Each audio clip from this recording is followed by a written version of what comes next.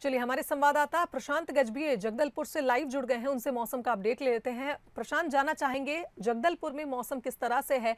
क्या बारिश का दौर लगातार जारी है या फिर अभी राहत नहीं मिल पाई है लोगों को?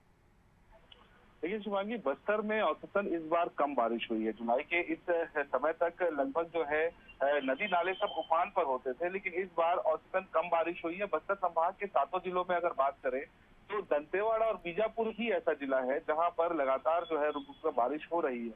और अन्य जो ज़िले हैं, वहाँ पर बहुत कम बारिश हो रही है रुक रुक कर खंड वर्षा हो रही है, जिससे किसान भी काफ़ी परेशान है।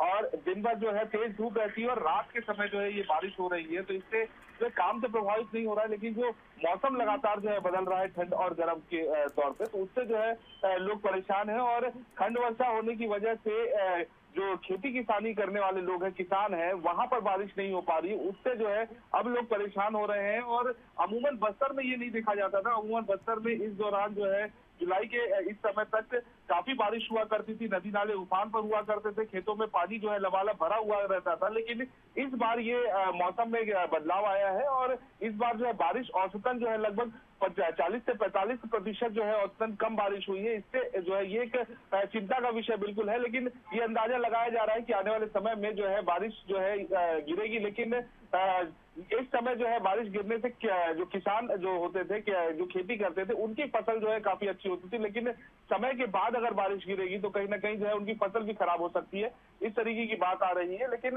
फ़िलहाल तक जो है बारिश तो बहुत कम हो रही है बस्तर में, और ये अंदाज़ा लगाया जा रहा है कि आने वाले समय में बारिश जो है होगी अच्छे से। जी शुभा बिल्कुल, एक तरह से कहा जाए प्रशांत की जगदलपुर में अभी बारिश का दौर जारी नहीं हुआ है, और उतनी बारिश नहीं हुई है जितनी अनुमानित थी, लेकिन कहीं ना कहीं मौसम में बदलाव लगातार होता है, और जो सिस्टम है, उसमें भी बदलाव देखने को मिलता है। कहीं ना कहीं उम्मीद जताई जा सकती है कि जगदलपुर में भी अच्छी बारिश देखने को मिलेगी। तो मध्य प्रदेश में भारी से बहुत भारी बारिश की संभावना जताई गई है। कई ऐसे ज़िले हैं जहाँ पर अलर्ट भी जारी हुआ है। और देश भर के मौसम के हाल अगर देखे जाएँ तो लगातार मानसून मध्य प्रदेश छत्तीसगढ़, हरियाणा और बिहार के क्षेत्रों में ज़्यादा एक्टिव नज़र आ रहा है। वहीं अगर बात की जाए छत्तीसगढ़ की तो छत्तीसगढ़ में जैसा हमारे संवाददाता प्रशांत ने बताया कि जगदलपुर की अगर बात की जाए, वहाँ अभी बारिश उतनी नहीं हुई है जितनी अनुमानित होती है। एवरेज बारिश वहाँ पर अभी नहीं हुई है। और लोगों में भी यही, लोग भी यही उम्मीद जता रहे हैं कि जल्द से जल्द बारिश हो और उन्हें राहत मिले। क्योंकि किसानों के लिए ये जो समय होता है बहुत महत्वपूर्ण होता है। बुआई का ये समय होता है। ऐसे में एक अच्छी बारिश किसानों के लिए जीवनदायक होती है।